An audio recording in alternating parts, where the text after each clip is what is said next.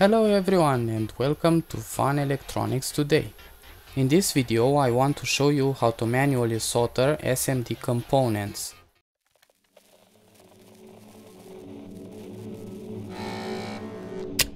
This is the method I personally use every day in my work and I wanted to share it with you.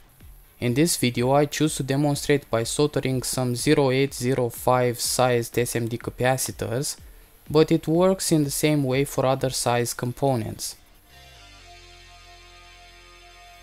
I usually solder one of the ends while holding the part in position with the tweezers. Then I flip the board around and solder the other end.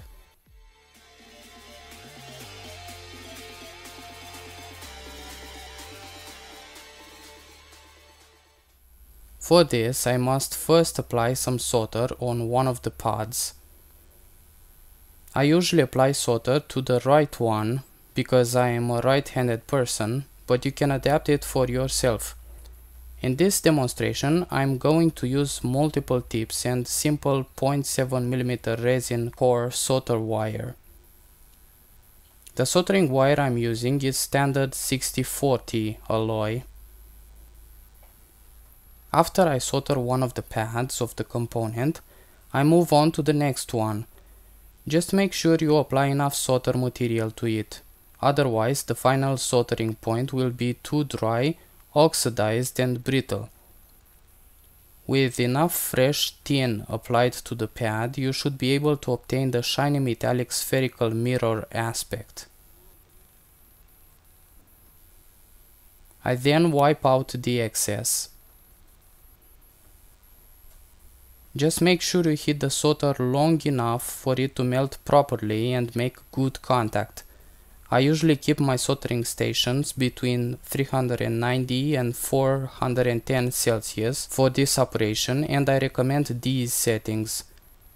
As long as you don't have thermal sensitive components like LEDs which require a special temperature soldering profile, you should be safe from overheating them.